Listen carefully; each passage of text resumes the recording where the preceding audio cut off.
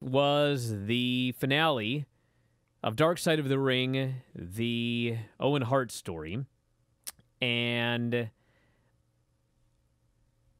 I thought long and hard about whether I want to say what I'm about to say.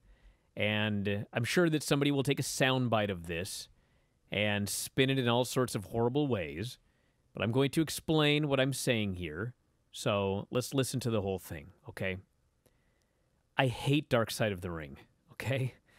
Like, I don't mean that in the sense like I used to hate Impact, okay? The show last night on Owen Hart, I mean, it was a fascinating show. It wasn't it wasn't like uh I mean, I'll, I'll say it this way, okay? So, for years, people wanted me to write a book about Impact, TNA wrestling. I never wanted to do it because I said eh, no one's going to buy it, okay? That was like the story of Impact forever. It's like they would always get the same number of viewers, but like nobody, none of the Impact fans ever spent any money on Impact. And so it's like, why would I write a book about this? I mean, uh, uh, I'll, I'll shorten my own life.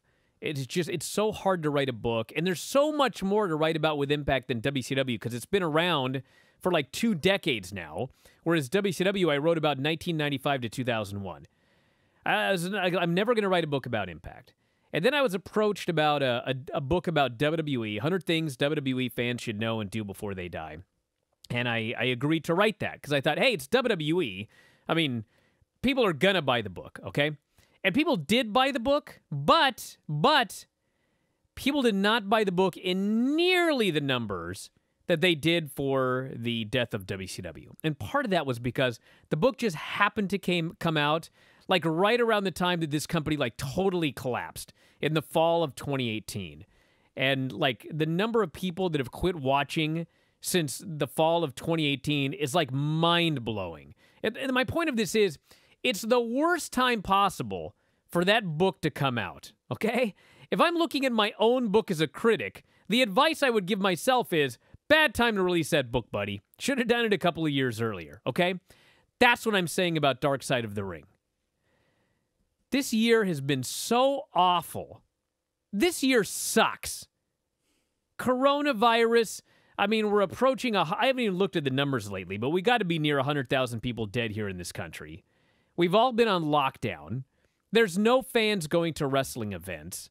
It's like this is the most depressing time in people's, like in most people's lives. And so, of all the times for Dark Side of the Ring to be airing on television. That's what I'm trying to say here. That the last thing I want to watch right now is a show about all of the horrible, miserable things that have happened in pro wrestling. And on top of that, this episode had to air the week that Shad Gaspard goes missing, and like his last act is to tell rescuers to go save his son instead of himself, and he gets sucked underneath. And then Larry Csonka dies, who like, you know, I, I didn't know him very well but Mike did. And I mean, he was like, he was one of us for decades. So there's Monday, those two guys. And then, of course, on Tuesday, it's a premiere of Dark Side of the Ring, which is, it, it it's not, ex- it's actually a lot like Shad Gaspard, about a guy who never should have died. And his last act was screaming for the referee to get out of the way because he didn't want to fall on him as he's literally in the last moments of his life. It sucks. It's nothing against the producers of Dark Side of the Ring or the show itself. The show is fascinating. I mean, on the show, they actually have, they actually, Martha Hart has saved the little tiny latch that Owen Hart was strapped into.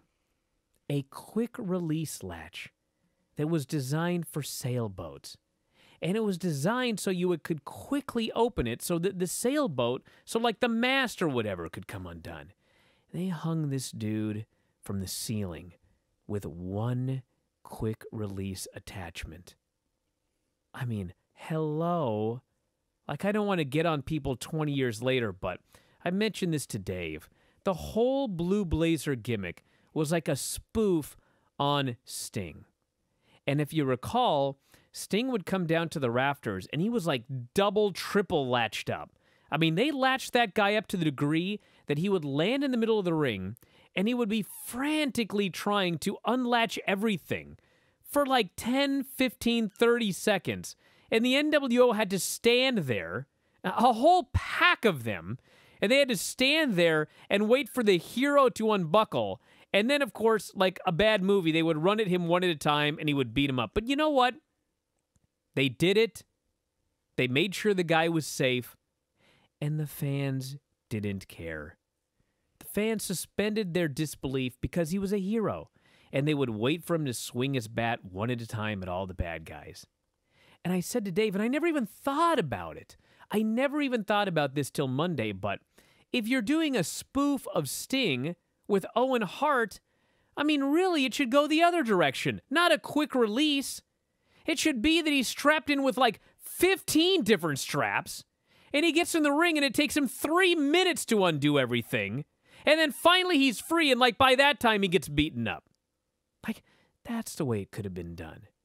But instead, they wanted a quick release contraption, which is just like the stupidest thing. I mean, it's it, I watched that show and you know nothing against once again nothing against the makers. I mean the the shows have done great for for uh, whatever the name of the thing is, uh, Vice. I mean, it's, it's like the highest ratings for Vice. It's like the show does great for them, and, and they do a great job with the show. But man, what a miserable thing to have to watch.